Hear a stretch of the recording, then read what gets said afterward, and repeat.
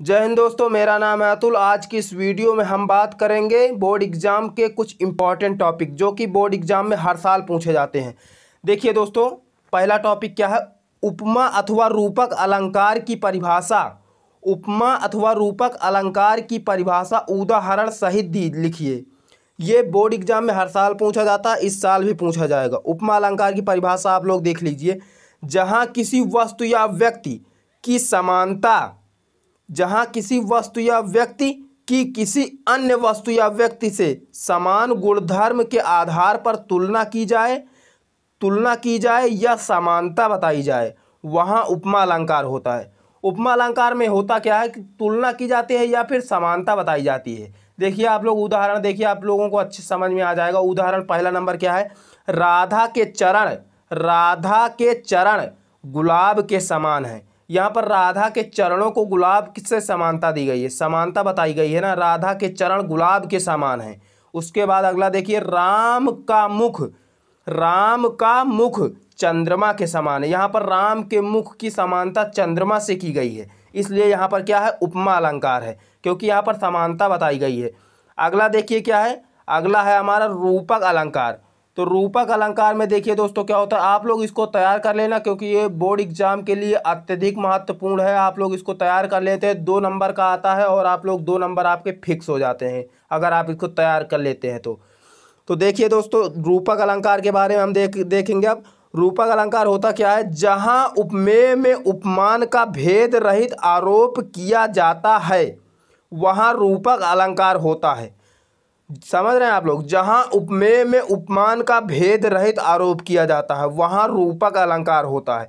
अच्छा आप लोग एक बात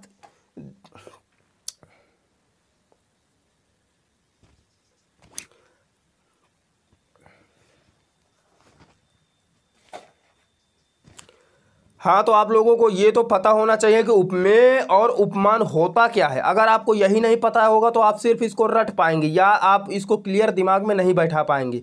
इसलिए इसका अर्थ पता होना बहुत ज़रूरी है। देखिए दोस्तों उपमेय क्या होता है? उपमेय जो हमारा होता है उपमेय वह होता है जिस वस्तु की समानता बताई जाए, उसे उपमेय कहते हैं। और उपमान क्या होता है? जिस वस्तु से समानता बताई जाए, उसे उपमान कहते हैं। तो इनको आपको अर्थ पता होना बहुत ज़रूरी है।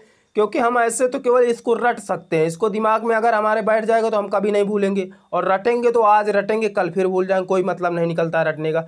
देखिए, नीचे उदाहरण आप देख लीजिए। मुख चंद्र तुम्हारा देख सके, मन सागर मेरा लहराता। बहुत अच्छा उदाहरण। आप इसको आराम से आपको याद हो जाएगा, कोई बहुत बड़ा उदाहरण नहीं। मैंने भी अपने बोर्ड एग्ज़ाम में यही वाला उदाहरण लिखा था, इसको ही याद करके मैं गया था। उसके बाद दूसरा उदाहरण क्या है? चरण कमल बंदो हरिराई।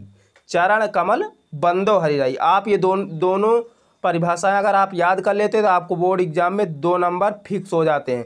दो नंबर आपके बोर्ड एग्ज़ाम में कोई नहीं रोक सकता है, दो नंबर का आता है अलंकार, अथवा करके दो अलंकार दिए रहते हैं, आपको जिसमें से एक अलंकार करना होता है, और आपके दो नंबर बिल्कुल फिक्स हो जाते हैं। आप इसी तरह लिखिए, जैसे मैंने लिखा है, आपके दो नंबर एकदम पक्के हो जाएँगे। अब हम आगे बात करेंगे रस के बारे में। जी हाँ दोस्तों, ये भी आपका दो नंबर का आता है। रस भी जो आता है, आपका दो नंबर का आता है।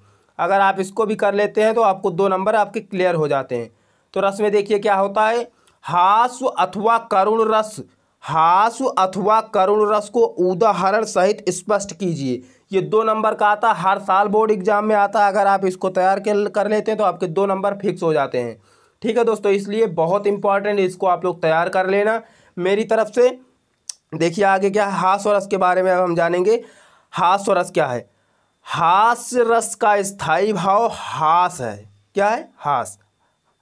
किसी व्यक्ति के रूप, आकार, वेशभूषा आदि को देखकर हृदय में जो विनोद भाव उत्पन्न होता है, हास्य रस कहलाता है। समझ रहे हैं आप लोग?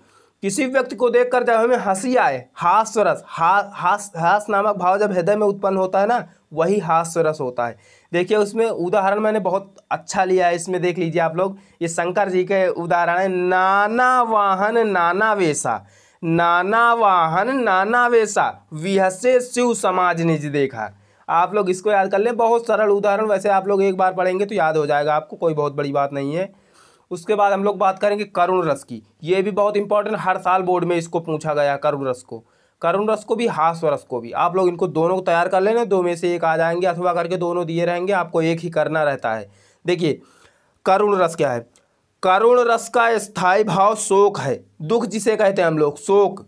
शोक नामक स्थायी भाव जब विभाव, अनुभाव और संचारी भाव संचारी भाव से संयोग करता है, तब करुण रस की उत्पत्ति होती है। जी हाँ दोस्तों, आप समझ सकते हैं इसको। देखिए, फिर से एक बार देख लीजिए। करुण रस का स्थायी भाव शोक होता है। शोक नामक स्थायी भाव जब विभाव, अनुभाव और संचारी भाव से संयोग करता है तब करुण रस की उत्पत्ति होती है। आप लोग इसको भी याद करते हैं तो आप लोगों को दो नंबर फिक्स है दोस्तों। दो नंबर कहीं नहीं जाएगा बोर्ड एग्ज़ाम में और हर साल ये पूछा जाएगा। ऐसा नहीं नहीं पूछा जाएगा। आप लोग सोचते होंगे कि ये नहीं पूछा जाएगा। ये पूछा जाएगा और इसमें दो मार्क्स का ये पूछा जाएगा। दो नंबर अगर आपको फिक्स करना है तो आपको इसको याद ही करना होगा। इसके बाद इसका उदाहरण आज हम लोग देखेंगे। उदाहरण इसका भी मैंने बहुत अच्छा मैंने छाँट कर उदाहरण लिए अच्छे अच्छे उदाहरण लिए इसमें। इसलिए आप लोग, आप लोगों को उदाहरण याद करने में बहुत ज़्यादा दिक्कत नहीं पड़ेगी, क्योंकि मैंने इस उदाहरण को सर्च किया है। उसके बाद मैं यहाँ पर लेकर आया हूँ। ये उदाहरण को मैंने काफ़ी खोज के बाद यहाँ पर लाया हूँ, जिससे आसान उदाहरण मैंने लिया है, जिससे आपको याद करने में कोई दिक्कत ना हो। देखिए इसमें क्या है।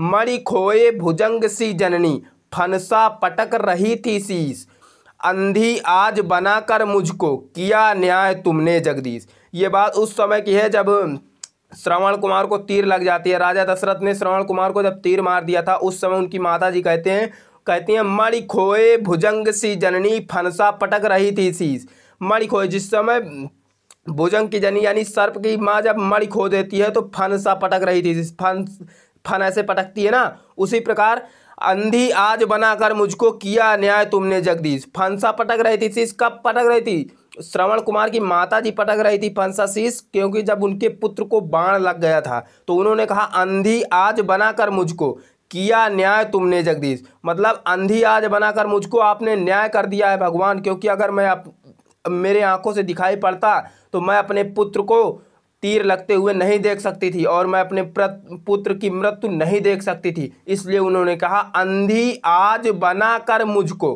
किया न्याय तुमने, जगदीश। देखिए दोस्तों, बहुत अच्छा उदाहरण, उम्मीद है आप लोग इसको तैयार कर लेते हैं और बोर्ड में आप लोग भी टॉप करिए, जिससे आप लोग अच्छे मार्क्स अचीव करके जाएँ, बोर्ड में टॉप करें। जय हिंद दोस्तों, नमस्कार साथियों, मिलते हैं एक अगली वीडियो में, फिर इसी तरह का कुछ नया टॉपिक लेकर आएँगे हम आपके लिए। जय हिंद।